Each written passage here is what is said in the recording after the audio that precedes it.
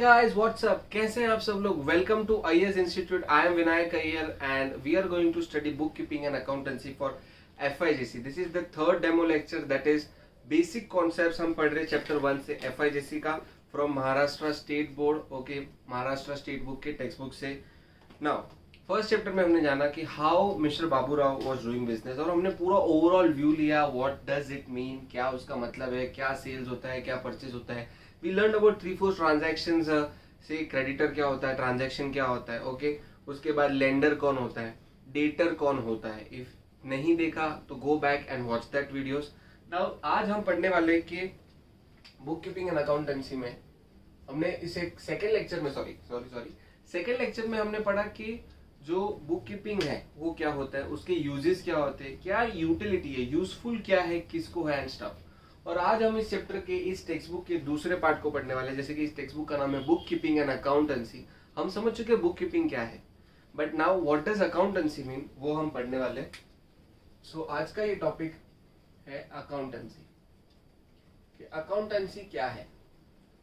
सो so, देखो as I said in the previous video कि last जब चैप्टर खत्म होगा इस टेक्स्ट बुक का उसके बाद हम इस चैप्टर पे वापस आएँगे। And then you will really understand कि मैं क्या बोलने की कोशिश कर रहा हूँ। अभी आप सिर्फ़ एक जिस्ट जानोगे, एक समझने की कोशिश करोगे कि इसका मतलब क्या होता है। और आई ट्राई हंड्रेड परसेंट कि आपको समझ में आए what I am trying to say और what does and what does this textbook and these concept explain so सबसे पहले अकाउंटेंसी क्या है और क्या क्या उसके अंदर आता है ये जानेंगे। Okay just give me one second thank you very much so accountancy जो है, ठीक है? अकाउंटेंसी यह टॉपिक हम कवर कर रहे हैं। Bookkeeping is a part of accountancy ठीक है? Accounting sorry bookkeeping is a part of accounting accounting मतलब क्या था? सिंपल इनकम माइनस एक्सपेंस जो होता है, उसको हम बोलते हैं प्रॉफिट या लॉस जो भी आता है। अगर एक्सपेंस ज़्यादा होगा तो लॉस आएगा, अगर इनकम ज़्यादा होगा तो प्रॉफिट आएगा। अकाउंटिंग ठीक है? यहाँ पे मिस्टेक कर दी मैंने भी। अकाउंटिंग ठीक है? तो accounting is a part of accountancy ठीक है? So bookkeeping is a part of accounting accounting is a part of accountancy इसका मतलब क्या है? कि अकाउंटेंसी के अंदर अकाउंटेंसी शॉर्ट में मैथ्स के तरीके से बोले तो is equal to bookkeeping plus accounting ठीक है? इसका मतलब ये होता है कि अकाउंटिंग के अलावा भी अकाउंटेंसी में कुछ है। वो क्या है? So see accountancy is the practice of recording, classifying, and reporting business transactions. Now, अगर आपको ट्रांजेक्शन का मीनिंग याद नहीं है then I give you small explanation transaction मतलब आप दूध लेने गए ओके आपको मम्मी ने बोला, जाओ भैया, दूध लेके आओ, चाय पीने सुबह हो गई। आप गए, वहाँ से पैसे दिए you got the milk that is a transaction you went to the vegetable person आपने वेजिटेबल वेंडर के पास गए, भाजी वाले के पास गए, आपने उसको पैसे दिए, सब्ज़ी खरीद ली। बराबर है? आपको दुकान में जाके बुक खरीदनी थी टेक्स्ट बुक खरीदनी, आपने पैसे दिए और टेक्स्ट बुक खरीद लिए। ये हर एक चीज़ जो एग्ज़ाम्पल मैंने दी दैट इज़ अ ट्रांजेक्शन ये मैंने फ़र्स्ट चैप्टर फ़र्स्ट चैप्टर में सिखाया था सॉरी फ़र्स्ट डेमो लेक्चर में सिखाया था so that is what is a transaction तो ये इसको रिकॉर्ड करने के लिए आपको जो है अकाउंटेंसी में सबसे पहले जो है रिकॉर्ड करना पड़ता है। ठीक है? उसको क्लासीफाई करना पड़ता है कि ये क्या है, कहाँ जाएगा और क्यों। और इसको रिपोर्ट करना पड़ता है। रिपोर्ट मतलब साल के एंड में भैया आप कहाँ पे हो? प्रॉफिट में हो कि लॉस में हो? फॉर इंस्टेंस मैं एग्ज़ाम्पल ले रहा हूँ यहाँ पे। Example purchased from mister Tiwari, हमारा तो बाबू रावी रहने वाला है, बराबर? तिवारी तो लुपित चालीस लाख का माल लिया। कितना? चालीस लाख का माल लिया। ओके? नाउ रिकॉर्डिंग क्या बोलेगा? कि ठीक है, मैंने परचेज किया और क्रेडिट पे किया। और मेरा क्रेडिट पे किया इसीलिए ये कौन है? मेरा क्रेडिटर इसका मतलब कि मेरा परचेज हुआ तो मेरा गुड्स बढ़ा और दूसरी ओर मेरा उधारी भी बढ़ा। अगर क्रेडिटर का कॉन्सेप्ट याद नहीं है go to the first lecture उसमें जाइए और देखिए क्रेडिटर का मतलब क्या है। I have explain that there in detail अब ये जो है, मैंने रिकॉर्ड कर दिया। बुक में लिख दिया कि परचेस किया मिस्टर तिवारी के पास। यहाँ पे ब्रैकेट में क्रेडिटर वाले बुक में लिखूँगा कि मैंने तिवारी से खरीद लिया, तिवारी सेठ से। क्लासीफाई में क्या करूँगा? क्लासीफाइंग में लिखूँगा कि सबसे पहले ये बुक वन में जाएगा, जो कि परचेस के लिए है, क्योंकि मेरा परचेस बढ़ गया। दूसरा, ये बुक टू में जाएगा जहाँ पे मैं क्रेडिटर्स को लिखता हूँ और मैं बताऊँगा कि ये बढ़ चुका है। सर दोनों में सेम ही है। हाँ सेम ही है मतलब यहाँ पे तुम पहले नॉर्मल में लिख रहे हो कि भाई परचेज किया क्रेडिटर तिवारी से।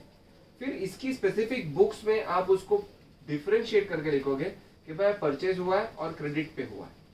और रिपोर्ट में at the end of the year वही जो यहाँ पे लिखा है, आप पता करो कि भाई इनकम कितना है एक्सपेंस कितना है प्रॉफिट है के लॉस है। और बहुत कुछ भी होता है, ऐसा कुछ नहीं कि यही है।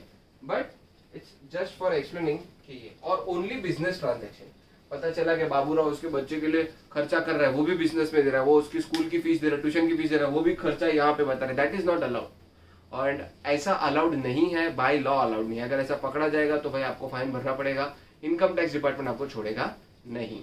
So what is accountancy? Accountancy is nothing but it, it, it equals to bookkeeping and but accountancy में दूसरा क्या है? रिकॉर्डिंग classifying एंड रिपोर्टिंग तो यहाँ पे और एक चीज़ आ जाएगा कि अकाउंटेंसी इन टोटल क्या होता है? रिकॉर्डिंग भी इसके अंदर रिकॉर्डिंग होता है। तो मैं आर डी लिखता हूँ क्लासीफाइंग का सी एल लिखता हूँ और रिपोर्टिंग का आर एन लिख आर जी लिख देता हूँ।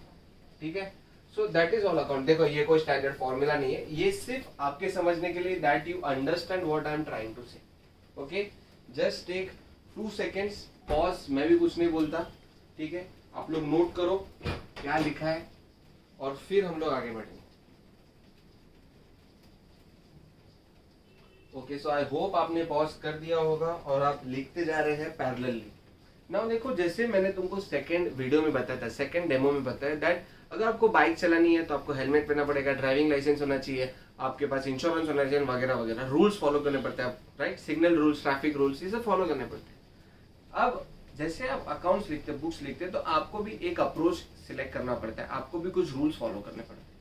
इस चैप्टर में हम ये सब जानेंगे कि क्या रूल्स होते हैं, क्योंकि नेक्स्ट चैप्टर में ये पूरा बेसिक्स है, आपको समझना बहुत ज़रूरी है। These concept are going to be use by you daily every day you are going to understand and use these words for your questions so अब स्टार्ट करते हैं what is the basis of accounting कि ये जो आप income minus expense बोल रहे हो सर कितना टाइम बोल रहे हो बट ये करते कैसे?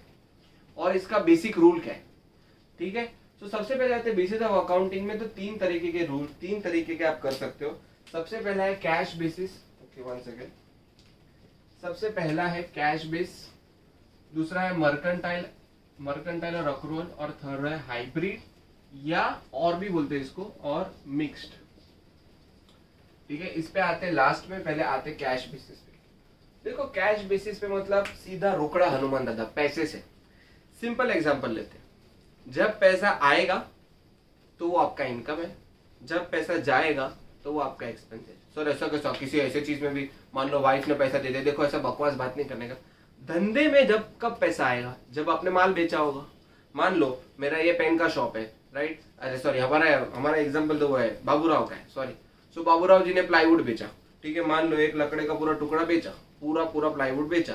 तो जैसे वो गया, सामने पैसा आ गया। सेल्स अब मजूर को खर्चा देना पड़ेगा। उसने उठा उठा के उसको उधर डिलीवर किया।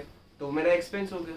ये माल जो मैंने खरीदा था, उसका पैसे पे कर रहा हूँ। वो मेरा एक्सपेंस हो गया। तो जब मेरा पैसा गया तो उसको रिकॉर्ड किया जाएगा। जब मेरा पैसा आएगा तो उसको रिकॉर्ड किया जाएगा। जब पैसा आए और जाए आई रिपीट पैसा आएगा and go okay when it is coming in and going out, that is what is cash basis. Cash basis में आपको दो चीज़ें लर्न करनी ज़रूरी है। दो दो वर्ड्स है। It's not learning something cash basis में आप दो वर्ड सुनेंगे दैट इज़ रिसीट्स या रिसिप्ट्स एंड पेमेंट्स अभी मैं पेमेंट्स का शॉर्टकट लिख रहा हूँ। ठीक है? ना रिसीट्स मतलब क्या? कि पैसा आया, अपने खींचे में डाला। पेमेंट मतलब क्या? आपने अपने खींचे से पैसा निकाला पे कर दिया। ओके नाउ यहाँ पे एक वर्ड लिखा है मैंने, जिसका मतलब है क्या? वो जानेंगे सबसे पहले रेवेन्यू बहुत लोगों को पता होगा भाई, आप लोग स्कॉलर हो। वेरी गुड रेवेन्यू मतलब इनकम क्या होता है? Income revenue is recognized when cash is received जो मैंने कहा कि जब आपका सेल होगा ठीक है? जब आपका सेल होगा तो आप आपका इनकम गिनोगे. So revenue is recognized when cash is received. Similarly, expense is recognized when cash is paid जब आपका पैसा बाहर जाएगा तो आप उसको रिकॉग्नाइज करेंगे। Okay so cash basis simple बोलता है। पैसा आएगा, तभी बुक में लिखो एंट्री जब पैसा जाएगा, तभी बुक में एंट्री लिखो। Now I want you to take a two second का पॉज और ध्यान से लिखे और समझे कि मैंने क्या कहा है। Okay guys so I hope आपको समझ में आया होगा। यहाँ तक मैं क्या बोलने की कोशिश कर रहा हूँ। एक सिंपल सा बात रिपीट कर रहा हूँ कि जब पैसा आएगा तो लिखना है। जब पैसा जाएगा तो लिखना है। It is all depend on cash sir bank में पैसा आया तो अरे घेल। अगर बैंक में पैसा है तो भी उसका मतलब सेम ही होगा ना समझो यार, ये सब कॉमन सेंस है। बैंक में अकाउंट में बिज़नेस अकाउंट में पैसा आया। आई से अगेन बिज़नेस अकाउंट में पैसा आएगा। Then only you will note it down and business account से पैसा जाएगा तब। अभी आपका पर्सनल अकाउंट और बिज़नेस अकाउंट अलग होता है। ये आज के लेक्चर में हम समझेंगे क्या है। Okay that is business entity concept but pause on that now दूसरा कॉन्सेप्ट है that is actual and sorry sorry actual नहीं बोलते उसको अक्रूअल और मर्कंटाइल देखो, इसको समझने के लिए ना सिंपल सा लॉजिक है। एक बात याद रखो, यहाँ पे पैसा इंपॉर्टेंट है, जब पैसा आएगा और जाएगा। ये कॉन्सेप्ट बोलता है, पैसा आया कि गया, वो इंपॉर्टेंट नहीं है। सबसे पहले तो एक पीरियड होता है, ठीक है? देखो, यहाँ पे मैंने एक शब्द यूज़ किया, जिसका नाम है अकाउंटिंग पीरियड और दोनों जगह पे मैंने ये अकाउंटिंग पीरियड का वर्क किया। एज पर इंडिया जहाँ पे इंडिया में फॉलो करते हैं we follow a lot from the Britishers accounting year जैसे एक नॉर्मल ईयर क्या होता है फ़र्स्ट जनवरी से लेकर थर्टी फ़र्स्ट दिसंबर तक. बट अकाउंट्स में बिज़नेस ट्रांजेक्शन में और बुक धंधे में जो फाइनेंशियल ईयर होता है that is from first of April से अभी मेरा चल रहा है 2020 सो फ़र्स्ट ऑफ़ अप्रैल 2020 से लेके थर्टी फ़र्स्ट मार्च 2021 इसीलिए इसको कहा जाएगा फाइनेंशियल ईयर या financial year okay financial year 2020 21 उसके बाद का साल जो होगा, वो स्टार्ट होगा फ़र्स्ट अप्रैल 2021 और खत्म होएगा थर्टी फ़र्स्ट मार्च को 2022 it is a period of 12 months गिनना है तो गिन लेते अप्रैल मई जून जुलाई अगस्त सितंबर अक्टूबर नवंबर दिसंबर जनवरी February March so it is a complete period of 12 months क्यों है, ऐसा क्यों है सो जनवरी से फरवरी करना है, मेरे को तो मैं भाई, तेरी इच्छा तू कर। पर गवर्नमेंट को टैक्स कब फ़ाइल करेगा? गवर्नमेंट के हिसाब से तेरे को थर्टी फ़र्स्ट मार्च के हिसाब से चलना पड़ेगा। तेरे को चाहिए तो क्रिश्चियन ईयर वापर, तेरे को चाहिए तो हिंदू ईयर वापर, तेरे को चाहिए तो जॉब करना है कर। पर टैक्स जब भरने की बात आएगी गवर्नमेंट रूल्स एंड रेगुलेशन बात करेगी that time you definitely have to follow this accounting year और इंडिया में it start on the first of April every year and ends on thirty first March of next year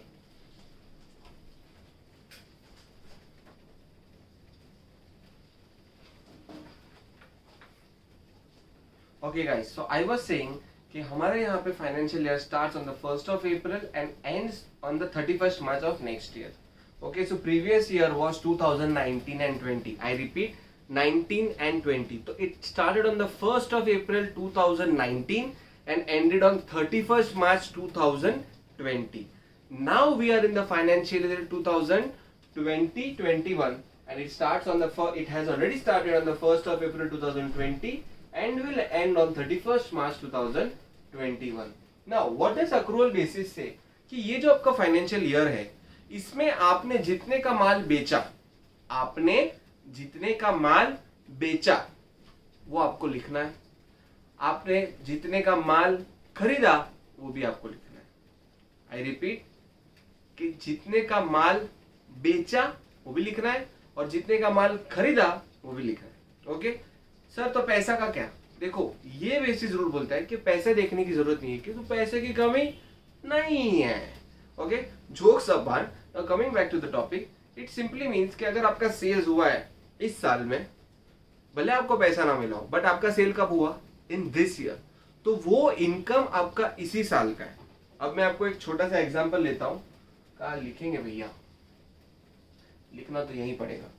तो लिखते हैं यहीं पे, थोड़ा बहुत सेटिंग करते हैं। ठीक है? अब तुम लोग समझ लेना मैं क्या लिखने की कोशिश कर रहा हूँ और क्या बोलने की कोशिश कर रहा हूँ। बाद में लास्ट में सब झूल सा बेटा मार लेते सी ये मेरा एक लाइन है टाइम लाइन है, मैं इसको बोल रहा हूँ। ठीक है? जैसे आपको पता है कि फ़र्स्ट अप्रैल 2020 को मेरा फ़र्स्ट ईयर चालू हो गया और ये है थर्टी फ़र्स्ट मार्च 2021 नाउ इसका दूसरा डे क्या होगा? नेक्स्ट डे क्या होगा? नेक्स्ट इसका नेक्स्ट डे क्या होगा? फ़र्स्ट ऑफ़ अप्रैल 2021 और ये होगा थर्टी फ़र्स्ट मार्च 2022 सो सी अब शांति से समझो this is my one financial year मैं इसको बोलता हूँ फाइनेंशियल ईयर नंबर वन और ये हो गया मेरा फाइनेंशियल ईयर नंबर टू से मेरा पहला बिज़नेस का ईयर है। तो अब मेरे पास I am going again slow कि मैं दो फाइनेंशियल ईयर दे रहा हूँ। मान लो मान लो कि मेरा यहाँ पे सेल्स हुआ। ठीक है? बाबूराव जी का सेल्स हुआ से ट्वेंटी लैक्स का। पेमेंट नहीं मिला। पैसे नहीं है। ठीक है, राजू खा के भाग गया। ऐसा नहीं है तो ऐसा कुछ बट सेल्स हो गया, पर पैसे नहीं मिले। मान लो पेंडिंग में आ गया तो रुक गया। अब इसका पैसा इस बंदे ने मेरे को सपोज़ ये सेल हुआ था मेरा थर्टी जून 2020 को, ठीक है? और इसका पैसा मेरे को आया से फिफ्थ ऑफ़ जुलाई 2000 से 21 को, ठीक है? सो so, देखो सिंपल सा लॉजिक लगाओ। यहाँ पे मुझे रिसीव्ड हुआ payment I received the money mister Baburao. Received the money आप शांति से समझो। अब अक्रूवल बेसिस क्या बोलता है? कि आप बुक्स ऑफ़ अकाउंट्स में कब लिखोगे? ठीक है?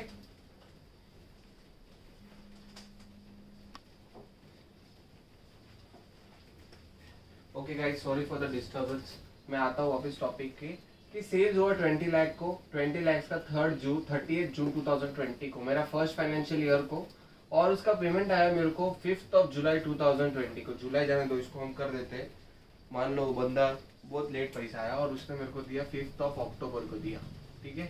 अब जब ये पैसा मिला, कोई बोलेगा, सर कैश बेसिस के हिसाब से तो यहाँ पे एंट्री मारो बुक में। कोई बोलेगा, यहाँ पे एंट्री मारो। सी अगर आप अक्रूवल बेसिस फॉलो कर रहे हैं जो मेजर बिज़नेस ऑर्गेनाइजेशन करती है। इन दैट केस आप जब ये अक्रूवल बेसिस कर रहे हैं तो आप यहाँ पे यहाँ पे रिकॉर्ड करेंगे। In case of accrual basis क्यों? देखो, मेरा वो फाइनेंशियल ईयर में माल चला गया। मेरा सेल्स हो गया। आई रिपीट मेरा सेल्स हो गया। मेरा माल बिक गया। भले पैसे नहीं आए बट वो उस फाइनेंशियल पीरियड में था। सही है। मैंने उस साल में उसको बेचने की मेहनत की है। सही है। इसीलिए मैं उसको 2020 वाले ईयर में ही लिखूँगा। ना कि जब पैसा मुझे मिला 2021 में। सर 2021 तो वो हमारा, देखो 2021 कहाँ तक? Thirty first March. ये क्या है? अक्टूबर मतलब ये इस डेट के बाद आगे जाता है सेकेंड फाइनेंशियल ईयर भले यहाँ पे पैसे आए तो सर बुक्स में एंट्री नहीं मानेगा। देखो बुक्स में आप एंट्री लिखोगे बट आप उसको इनकम में नहीं गिनोगे, क्योंकि आप उसको ऑलरेडी पिछले साल इनकम में गिन चुके हो। You have already calculated in the books of account आपने उसका एंट्री मार दिया है। सिमिलरली कोई एक्सपेंस है। जैसे मान लो, मैंने किसी से माल खरीदा। I purchase goods from someone मान लो, मैं बाबू राव, मैंने अभी नया बिज़नेस चालू किया, जब मेरा प्लाईवुड का बिज़नेस था, मैंने लकड़ी की लंबी लंबी पट्टी खरीदी, और मैंने माल खरीदा, और पेंडेमिक आ गया। अब मैं उसको पेमेंट नहीं कर पाया, क्योंकि मेरा लकड़ी तो मेरे पास ही पड़ा। मैंने परचेज कर दिया पेमेंट नहीं। मैंने पेमेंट उसको अगले साल किया। तो कब रिकॉर्ड करेंगे? रिकॉर्ड इसी साल करेंगे। क्यों? क्योंकि मैंने परचेज जो है, मैंने परचेज इसी साल किया so it will be recorded in this year okay so that is what is accrual basis अब मैं पढ़ने की कोशिश कर रहा हूँ। अगर आपको नहीं समझ में आ रहा है take a pause listen to me properly और प्लीज़ अगर अभी तक हेडफोन्स नहीं पहने प्लीज़ वेयर द हेडफोन्स नहीं तो कुछ नहीं समझेगा भैया, सब ऊपर से जाएगा। समझ रहा है तो भाई तुम स्कॉलर हो अच्छा स्कोर कर देना। Revenue when receive whether received or not क्या लिखा है? रिसीव्ड और नॉट मिला के नहीं but has been earn or accrued during the accounting year but आपको उस साल में उसका भुगतान हो चुका है। तो आप उसको बुक्स में लिखेंगे। वैसे ही expense whether paid or not आपने पे किया है कि नहीं? बट आप उसको उस साल बुक में रिकॉर्ड करेंगे। ठीक है? जिस साल में वो होता है। और एक छोटा सा एग्जांपल ले लेते हैं। मान लो भैया कहा लिखेंगे? यहाँ पे लिखेंगे। मेरे पास एक बच्चा था इलेवेंथ में। ठीक है? तुम्हारे जैसा। सिर्फ़ एग्ज़ाम्पल ले रहा हूँ। पाँच हज़ार उसकी फ़ीस थी। ठीक है? उसने मेरे को उसमें से तीन हज़ार रुपये पे कर दिए। बच्चे कितने? टू थाउज़ेंड अब वो टू थाउज़ेंड देना भूल गया, मैं भी भूल गया। फिर मैंने बुक्स खोला at the end of there पता चला दो हज़ार मेरा बाकी है। उसी दिन वो बच्चा आया ट्वेल्थ के, बोलता है सर मैं पढ़ूँगा। तो मैं बोला, ठीक है, पढ़ो। आठ हज़ार फ़ीस है। पिछले साल का दो हज़ार बाकी है टोटल हो गया दस हज़ार। लड़का बोला, ठीक है सर मैं आपको दे देता हूँ पेमेंट रिसीव मेरे को मिला दस हज़ार। बट ये दस हज़ार के अंदर दो है। दो हज़ार पिछले साल का, दो हज़ार आठ हज़ार इस साल का। भले मुझे ट्वेल्थ स्टैंडर्ड में टू थाउज़ेंड रुपीज़ इलेवेंथ के मिले। आई रिपीट ट्वेल्थ स्टैंडर्ड में टू थाउज़ेंड रुपीज़ इलेवेंथ के मिले। मैं सिर्फ़ इस साल एट थाउज़ेंड रिकॉर्ड बुक्स में रिकॉर्ड करूँगा eight thousand only and eleventh वाले ईयर में मैं ऑलरेडी फाइव थाउज़ेंड रिकॉर्ड कर चुका होगा क्योंकि वो मेरा इलेवेंथ का फ़ीस है तो मेरे इलेवेंथ के फ़ीस में कैलकुलेट होना चाहिए। और ये मेरा ट्वेल्थ का फ़ीस है तो भले ट्वेल्थ के, भले मुझे इलेवेंथ का फ़ीस ट्वेल्थ में मिला बट उसका सर्विस कब मैंने दिया? इलेवेंथ में। तो उसका इनकम कब हो गया? इलेवेंथ में। पेमेंट भले यहाँ आया हो, यहाँ पे पेमेंट मिल गया कैश सच में आ गया बट यहाँ पे मैं गिनूँगा, नहीं, यहाँ पे सिर्फ़ ट्वेल्थ का गिना जाएगा। आई होप आपको ये समझ में आया होगा and I try to give you two examples तो आपको प्रॉपर कॉन्सेप्चुअल क्लैरिटी मिले। अब देखो यहाँ पे थोड़ा सेटिंग करके लिख देते हैं। ये यहाँ पे।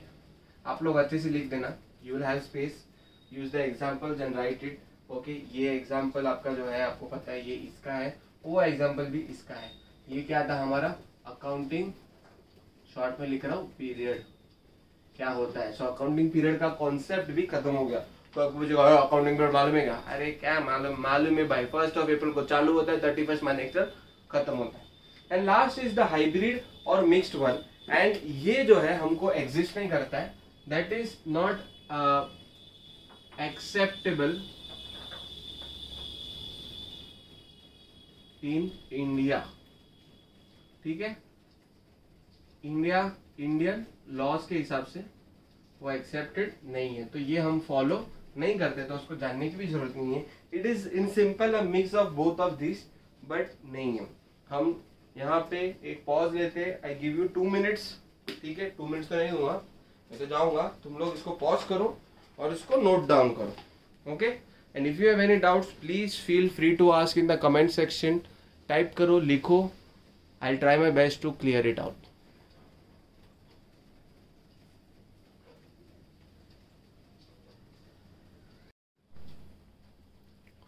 okay guys so I hope आपने फ़र्स्ट वाला पार्ट कॉपी कर लिया होगा. This is the second and last part for the video and that's it for the day इससे ज़्यादा कॉन्सेप्ट अगर आप समझने की कोशिश करोगे तो आप लोग पक्का कोशिश करते ही रह जाओगे. Now let's move on to the next topic for the day that is what are the characteristics transactions और कुछ कॉन्सेप्ट जो हमको समझने हैं क्योंकि हम ये रोज यूज़ करने वाले हैं? What does what do they mean and इसका क्या यूज़ है? Okay okay? और क्यों ऐसे वर्ड्स यूज़ किए जाते हैं? इसका मतलब क्या है? तो सबसे पहले आते हैं qualities or qualitative characteristics of what qualitative characteristics of accountancy see I try to use different colours ताकि आपको याद रहे। आप भी कोशिश करें इसको ऐसे लिखने अब देखो इसमें अभी डिटेल में जाने नहीं वाला। ऊपर ऊपर से समझेंगे। Because you are not you don't have any idea of what is bookkeeping and accountancy आपको समझ में अभी आपने कुछ किया ही नहीं है। एंड यू डोंट नो इसमें क्या है। सो so, आपको अभी इतना डिटेल में सब क्लियर नहीं होगा भैया। You have to wait and believe me जब ये फाइनल अकाउंट्स करके एक चैप्टर है when that is over you will really be happy कि सर क्या बात है।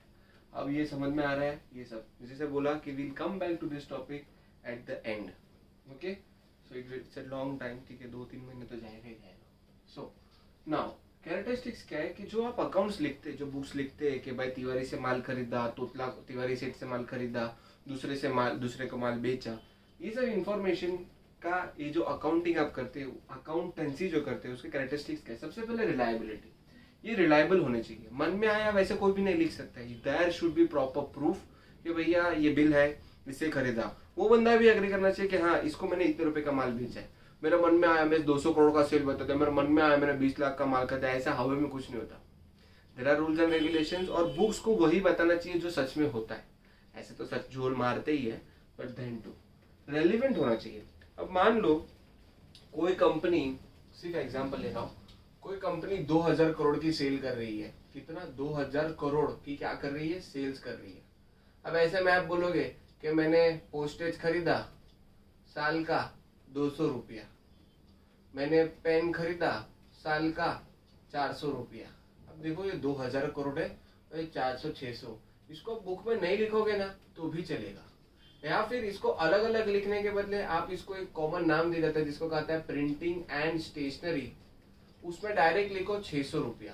Don't waste line and time because this is a relevant data जो इस कंपनी में इन्वेस्ट करना चाहते हैं, जो इस कंपनी को समझना चाहते हैं कि कंपनी कहाँ पे है, उनके लिए 200 400 2000 करोड़ के सामने कहाँ आते so that should be relevant understandability जी हाँ it should be clearly understandable sorry understandable in normal words मतलब कि एक कोई आम आदमी भी इसको समझने की कोशिश करे तो आपकी बुक्स एक स्टैंडर्ड फॉर्मेट में होनी चाहिए। इसीलिए पिछले पाँच साल में गवर्नमेंट ने भी रूल्स एंड रेगुलेशंस लिए हैं sorry rules rules and regulations बनाए हैं कि स्टैंडर्ड फॉर्मेटिंग हो। नहीं तो क्या होता है, मैं अपने तरीके से बुक्स लिखता हूँ, ये अपने तरीके से लिखता है, वो अपने तरीके से लिखता है, सबका अपना अपना नज़रिया करने का काम। अब ये सब कंफ्यूज करते हैं, क्योंकि अगर गवर्नमेंट ऑफिसर इसका बुक चेक करेगा, इसका चेक करेगा, इसका तो उसको उनके प्रोसेस से सोचना पड़ेगा। ये सब जमेलों को कैंसिल करते हुए गवर्नमेंट बोला, भाई, एक स्टैंडर्ड फॉर्मेट हम दे रहे आपको इसको फॉलो करना है। तुम तुम्हारे बुक में कैसे भी लिखो, पर जो बुक्स हमको देखने जिसमें हमको समझना है वो जो फॉर्मेट हम दे रहे, उसमें होना चाहिए, ताकि हर कोई इसको समझ सके। उसके बाद कंपेरेटिबिलिटी जो मैंने फ़र्स्ट वीडियो में बताया था कि कंपेयर किया था कि भैया अगर सेल्स हुआ है सपोज़ मेरा, अब तो आपको अकाउंटिंग ईयर का मतलब भी पता है तो 1920 में और 2021 का एग्जांपल ले तो सेल्स यार 1920 में मान लो, मेरा 2000 करोड़ ही था। ठीक है? सर इतनी लंबी सेल होती है ना मैगी कंपनी हो गई सब बहुत बड़ी बड़ी कंपनी है, है कि नहीं अभी पता नहीं करते मैं हम एग्ज़ाम्पल ले रहे तो मान लो ये दो हज़ार करोड़ पार्ले जी भाई सब लोग खाते है। कि नहीं? पार्ले जी कंपनी में। दो हज़ार करोड़ का सेल्स किया। और 2021 में पार्ले जी का सेल्स डाउन हो गया। नहीं पार्ले जी का सेल्स डाउन क्यों हुआ? कोरोना में तो हम लोग ज़्यादा खरे भुक्कड़ हो गए। तो मान लो 2500 करोड़ का सेल्स हो गया। So now this is giving a comparison कि मेरा सेल्स तो बढ़ गया। क्यों क्योंकि ये खाने की कंपनी थी अगर कोई दूसरी कंपनी होती, जैसे मोबाइल फैक्ट्री मोबाइल कंपनी तो ये वहाँ पे एग्जिस्ट ही नहीं करता, क्योंकि वो डाउन होता। फॉर इंस्टेंस अगर मैं दूसरा एग्ज़ाम्पल लू, जहाँ पे 1920 लिखा गया है, और 2021 लिखा गया है, और यहाँ पे मैं सेल्स लिख रहा हूँ, और मान लो, ये है, मान लो हमारा सैमसंग कंपनी का, जो मोबाइल बना के बेचता है। तो मान लो यहाँ पे वो लोग 500 करोड़ कमा रहे थे। 500 तो नहीं यार मोबाइल वाले तो यार बहुत दबा। दबा के कमाते हैं पुन इसको है ना पाँच हज़ार करोड़ करते और यहाँ पे उसका सेल सीधा आ गया दो हज़ार करोड़ पे। नाउ सी ये अगर मैंने ऐसे नॉर्मल फॉर्मेट में लिखा होगा तभी समझ में आएगा कि सेल्स ऊपर गया है कि नीचे आया है। सो so, अकाउंटिंग करते हो तो अकाउंटेंसी का जो डेटा है that should be reliable okay आप उसको समझ सको मान सको। रेलिवेंट होना चाहिए। आप जो लिख रहे हो वो इरेलीवेंट होना चाहिए। समझ में आना चाहिए और कंपेरेबल होना चाहिए। We take a pause here and then we will continue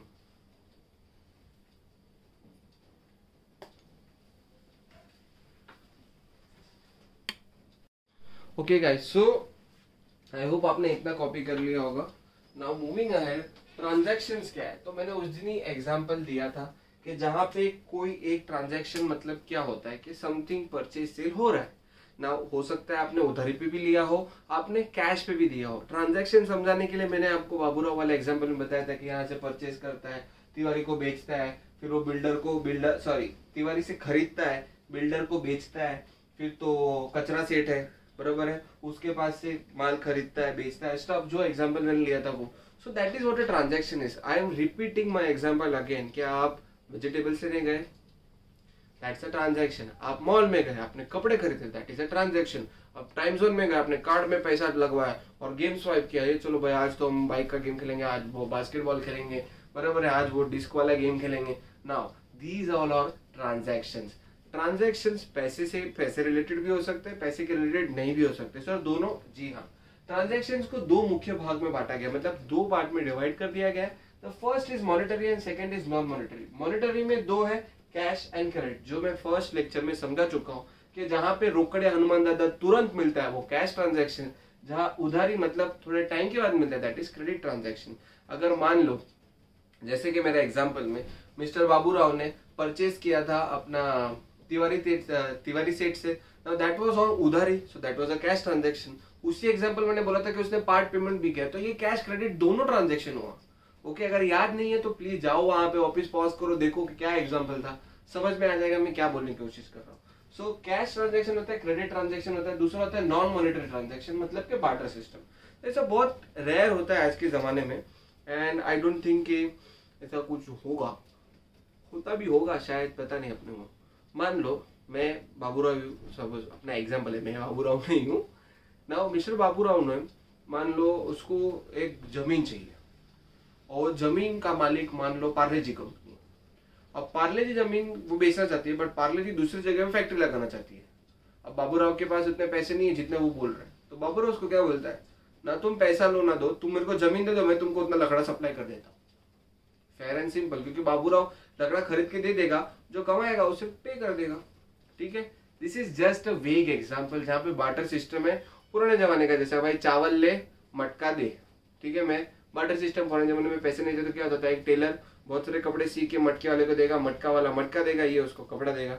एक चावल उगाने वाला फार्मर उसको अगर कपड़े चाहिए तो वो टेलर के पास जाएगा, वो उसको चावल की गोनी देगा और कपड़े लेके आ जाएगा। That is what is barter transaction but ये रिकॉर्ड नहीं होते।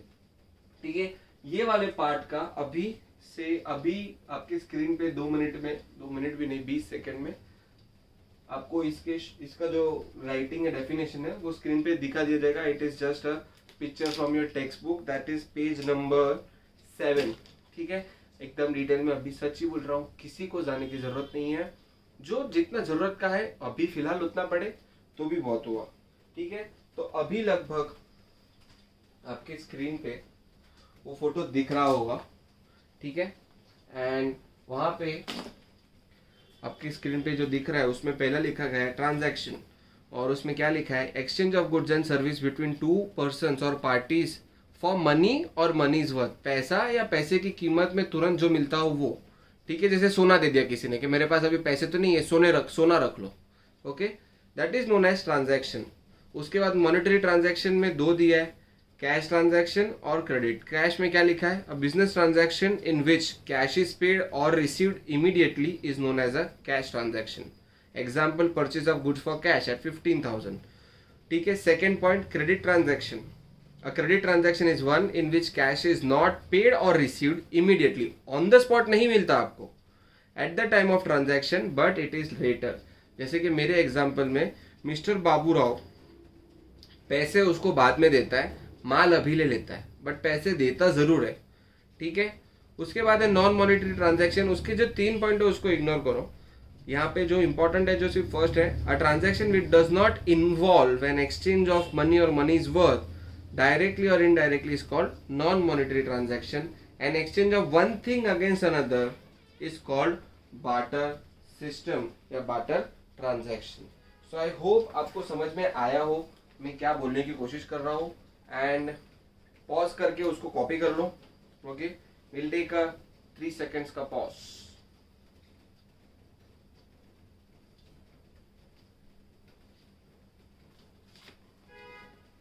okay so now let's move on I hope आपने कॉपी कर लिया होगा। नाउ अब ये तीन कॉन्सेप्ट चार कॉन्सेप्ट पढ़ेंगे कैपिटल क्या होता है। ड्राइंग्स क्या होता है? डेटर क्या होता है? सर डेटर तो पढ़ा दिया भाई टेक्स्ट बुक में दिया है तो देख लो ना भैया एक बार। समझा भी देंगे एक बार। अब एक सिंपल सा एग्जांपल जब मिस्टर बाबूराव ने प्लाईवुड का धंधा चालू किया तो क्या प्लाईवुड हमें से आया? नहीं। उसको उस धंधे में पैसे लगाने थे। ठीक है? और पैसे तो उनको मिले ही थे। जो हीरा जो था, वो तोड़ा, बराबर है। हीरा नीचे गिरा, टूटा कुकड़ू में से हीरा निकला। कुकड़ू और फिर वो हीरा जो है, चौक सपा वो हीरा जो है वो हीरा सबको मिला एंड बाबूराव ने क्या किया? वो हीरा बेच दिया और पैसे मिले, उसने क्या किया? प्लाईवुड के बिज़नेस में डाला and he started the business तो ये जो पैसा मिस्टर बाबूराव ने प्लाईवुड के बिज़नेस में इन्वेस्ट किया, अपना पैसा इस धंधे में लगाया that is nothing but capital अगर एक आदमी उसके धंधे में पैसे लगाता है, धंधा करने के लिए, ठीक है फॉर डूइंग द बिज़नेस तो उसने क्या किया? उसने दुकान भाड़े पे लिया होगा, लकड़ा लगाया लकड़ा लगाया लकड़ा प्लाईवुड मंगाया, ठीक है, थोड़ा एडवर्टाइजमेंट किया इधर उधर थोड़े लोगों को बुलाया ओपन किया डिजिटल मार्केटिंग मार्केटिंग किया, ताकि लोग को समझ में आए कि भाई इधर दुकान है, अपने दोस्त का है, नहीं, इधर अच्छा मिल रहा है ये अच्छा बेच रहा है and stuff like that now यहाँ पे क्या लिखा है? वो पढ़ेंगे। The total amount invested into a business by the owner ठीक है? इसको हाईलाइट करते हैं। इसको थोड़ा खींच लेते हैं, क्योंकि ये भी इंपॉर्टेंट है। जितना लगाया उतना। Invested into the business by the owner is called topital topital मतलब कैपिटल ठीक है? कैप पहनते उसको हिंदी में टोपी बोलते हैं। इसके लिए मैं उसको टोपिटल बोलता हूँ। So that is called capital अब ये जो पार्ट है, उसको अभी स्टार मार्क करके रखो। Capital is equal to asset minus liability उधर लिख दो लेटर सर एक्सप्लेन करेंगे। एंड आफ्टर दिस वीडियो में जब वहाँ पे एक्सप्लेन करूँगा, तभी आप जब रिवाइज करोगे तो आपको अपने आप वो कहानी याद रहेगी अभी अगर मैं इसको समझाने जाऊँगा तो ये सब की भी लग जाएगी। सो so, उसको छोड़ दो बस उसको लाल में लिखो और उसको बॉक्स मार दो। मैं भी बॉक्स मार देता हूँ capital is nothing but capital is nothing but equal to assets minus liabilities समझेंगे की patience you understand what I am trying to say but not now it is a liability and payable back to the owner सबसे पहले liability मतलब क्या? एक simple सा example मैं bike चला रहा था। बराबर है? और मैंने एक बंदे को ठोक दिया। अब उसको मैंने ठोक दिया। Then I am legally liable कि मैं उसको हॉस्पिटल लेके जाऊँ, उसकी देख रेख करूँ और उसको संभालूँ। और मैं जितना कर सकता हूँ उतना। तो यहाँ पे लाइबिलिटी वो है। बट बिज़नेस में लाइबिलिटी मतलब क्या? जैसे कि मिस्टर बाबूराव ने तिवारी से माल खरीदा, पैसा देना बाकी है। आई रिपीट माल खरीदा, पैसा देना बाकी है। सो so, वो एक लाइबिलिटी है something that is owned by the business to other person और ये पैसा आपको उसको चुकाना है। कल उठ के आपको इसको चुकाना है। That is why it is called a liability इसको डिटेल में फोर्थ वीडियो में ज़रूर जानेंगे। Okay it is a liability and payable back to the owner at the end of the year जो पैसा बाबूराव ने लगाया था वो धंधे से निकाल के खुद के घर पे लेके जाएगा। इसलिए ये पैसा उसको उसको वापस चुकाना है। Now moving on to the next concept that is drawings. Okay? Okay, guys, so now we are at the second concept, that is drawings. Now what is drawings इसका ऑपोजिट जब बिजनेसमैन धंधा पैसे में लगाता है, ठीक है, बाबूराव ने धंधा लगाया एंड अच्छा बिज़नेस चल रहा है। ना छह महीने में चकाचक हो गया तो उसने नया घर लिया। अब उसने घर लिया तो what do you think will he buy plywood from outside अब घर का ही खेती है तो बाहर थोड़ी जाएगा। So in that case when the plywood goes from office for home I repeat from the office for home वो ऑफ़िस से घर पे जा रहा है यूज़ के लिए for personal use the word specific here is for personal use. Okay? Owner for personal use. Okay? उसको कहा जाता है ड्राइंग्स तो यहाँ पे क्या लिखा है? अमाउंट ऑफ़ कैश और वैल्यू ऑफ़ गुड्स और असेट्स एक्सेट्रा विथड्रॉन मतलब के यूज़ करना. ठीक है? From business by owner for personal use is called drawings example owner paying his child school fees from business bank account अगर उसके personal account में नहीं है स्कूल का ड्यू डेट आ गया तो बैंक अकाउंट से भर दे ले भाई इधर से। तो वो अमाउंट बाद में at the end of the year कम होके वापस जो बिजनेसमैन है ओनर को देगा। ठीक है? अकाउंट्स ये मानता है कि ओनर अलग है एंड बिजनेसमैन अलग है। एंड इस पे एक कॉन्सेप्ट है दैट इज़ बिज़नेस एंटिटी जो इसके बाल वाले वीडियो में आपको समझाएँगे। सो so, कैपिटल में पैसा पैसा वो पैसा भी लगा सकता है वो गाड़ी भी यूज़ कर सकता है अगर बिज़नेस के लिए. That is if he using his personal car and saying that now this is this will be for the business तो वो भी बिज़नेस में लग गया. अगर वो उसका दुकान जो भाड़े पे दे रहा था वो भी यूज़ कर रहा है for business then that also is a building या shop property for the business that is also a capital okay last two concept is nothing आपको पता है. फ़र्स्ट लेक्चर में हम डिस्कस कर चुके डेटर कौन होता है क्रेडिटर जो व्यक्ति से हम माल जिस व्यक्ति को हम माल उधारी पे बेचते हैं he is a debtor and जिससे माल खरीदते he is a creditor a person to him home we sell goods on credit उधारी. Is called debtor a person from home we purchase okay यहाँ पे दूसरा कार्ड यूज़ करते हैं तो तुमको भी समझ नहीं आएगा. To home we sell goods on credit is called debtor from whom we purchase goods on credit is called a creditor credit शब्द को बोलो मत ठीक है that's it for the day i'll keep the video on for two seconds and आप इसको copy करिए pause करिए and thank you for the day and hope to see my next video bye guys